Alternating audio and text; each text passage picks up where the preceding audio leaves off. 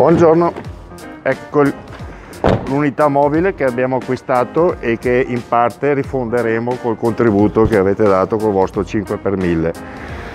È un camper di medie dimensioni rispetto all'altro che avevamo in uso ovviamente è più funzionale e adesso vi faccio vedere l'interno. Questa è l'entrata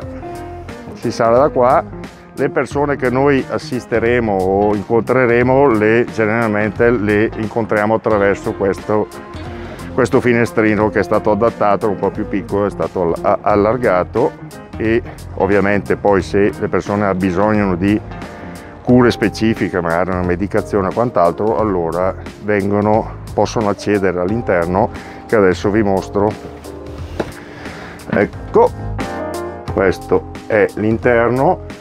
c'è questa parte che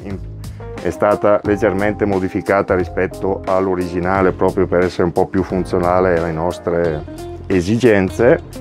c'è questo tavolo che poi si piega, sparisce e quant'altro, quindi poi noi generalmente operiamo su questo lato.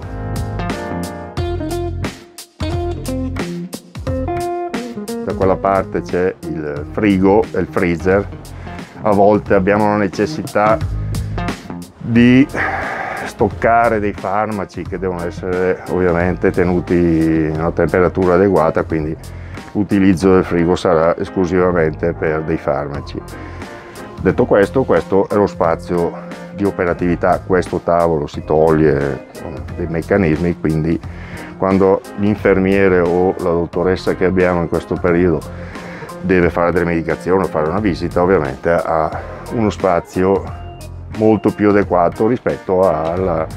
al camper che avevamo in utilizzo fino all'altro giorno. Questa allora è la nuova unità mobile che abbiamo acquistato e che il vostro 5 per 1000 ci aiuterà a sostenere. Grazie a tutti quelli che l'hanno fatto. Ricordo che per chi non l'ha ancora fatto c'è ancora tempo, qualora qualcuno volesse aggiungersi ai tanti e parecchi che l'hanno fatto.